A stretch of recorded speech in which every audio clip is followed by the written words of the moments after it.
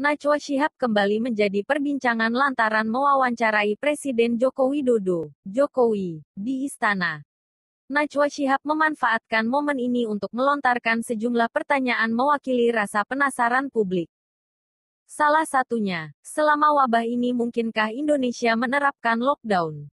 Termasuk mendenda mereka yang tetap keluyuran di luar rumah. Menjawab pertanyaan Najwa Shihab, Jokowi punya jawaban sendiri.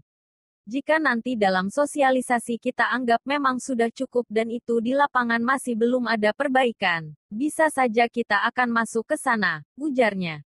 Obrolan Najwa Shihab dan Jokowi diunggah di kanal YouTube Mata Najwa, Rabu, tanggal 22 April tahun 2020.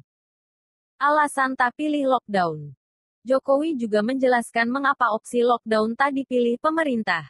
Ada banyak buruh harian, pekerja harian, pedagang asongan, dan pedagang mikro yang hidup